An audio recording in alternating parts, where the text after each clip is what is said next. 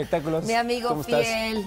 Me extrañaste Bienvenida, muchísimo ayer, ¿verdad? Me no, dijeron digo, que estuviste supuesto que sí. llorando todo el tiempo. Estuve un mar de lágrimas. Me imagino, pero ya estoy de regreso. Qué bueno, qué bueno. Oye, bueno, pues ahora vamos a platicar de lo siguiente. Tras el incendio en la Catedral de Notre Dame, el magnate François-Henri Pinot, que es el esposo de nuestra guapísima Salma Hayek, reveló su intención de donar 100 millones de euros para la renovación del emblemático monumento de París. Aseguró que la decisión la tomó junto con su padre, François Pinot, de 82 años, que fue el fundador del Imperio Crane. Eh, por su parte, Salma Hayek se dijo profundamente conmocionada y triste al ver que la belleza de Notre Dame se convertía en humo. Pues quién no, incluso yo creo que fue una noticia impactante para todo el mundo.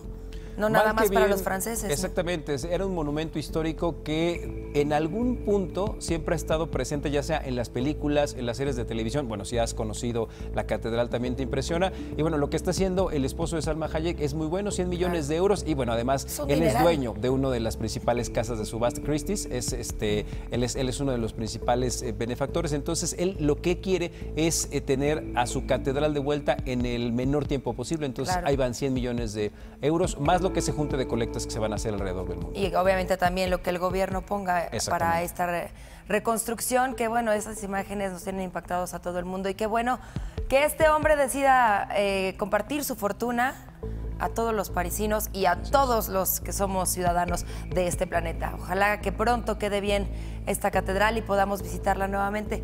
Fíjate que hay una parte muy bonita sobre que a los mexicanos nos conmueve mucho, que es el ala donde se encuentra la Virgen de Guadalupe. Entrando dos, A la izquierda. do- dos, este, digamos, dos paneles a la izquierda ahí está. Y además, ahora que lo mencionas, esto es muy curioso.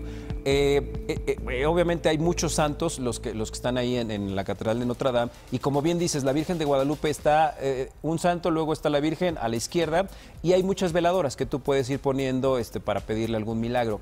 Y una de las zonas, yo creo que eh, si no es la primera, es la segunda, con más veladoras, es la Virgen Es de la Guadalupe. Virgencita. Bueno, pues esta no- noticia tan lamentable, esperemos que próximamente tengamos buenas noticias de que ya está en reconstrucción y que terminen pronto, que no se tarden otros 200 años, ¿verdad? No, no, no. ocho- Imagen Noticias con Paco Sea, lunes a viernes 5.50 am.